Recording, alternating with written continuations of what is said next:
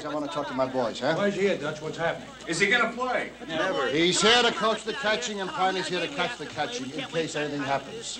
Why now? Mental lapse, that's why. Come on, Dutch. Here we are. There's lemonade, there's cookies outside. Why don't you get going? Stay outside. You want a story? I'll give it to you later on. I'll give you. Where's your gun? We're right here, partner. Hand it over. I'm in no mood to see anybody get killed by a bullet wound. Piney, I hear had bullets with it, too. Yes, sir. They're in the gun. Why the hell didn't you tell me? Well, I didn't think it'd go off. I'm always very careful. That's what everybody says. That's why the hospital is full of babies.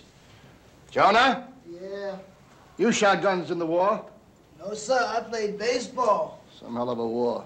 Canada, Yes, sir. you shot guns in Vietnam. Right. Here, take and empty this gun. Why am I here, Arthur? Boys, boys, I want to welcome Red back from the coast to bolster us and study up the instruction. Yeah. I want to welcome Piney Woods back from the wild, wild west to ride along with us all the way, now is what I'm hoping.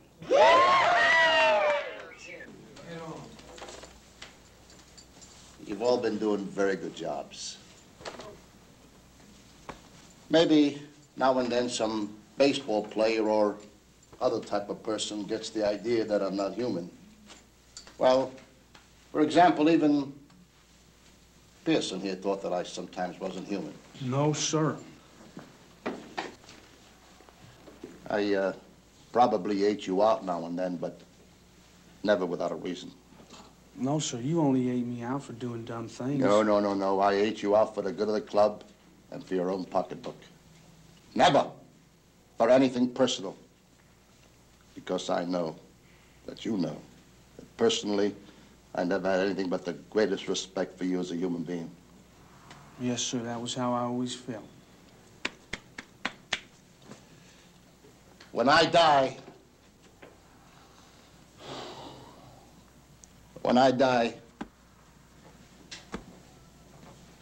the papers will write in the headlines, son of a bitches of the world that lost their leader.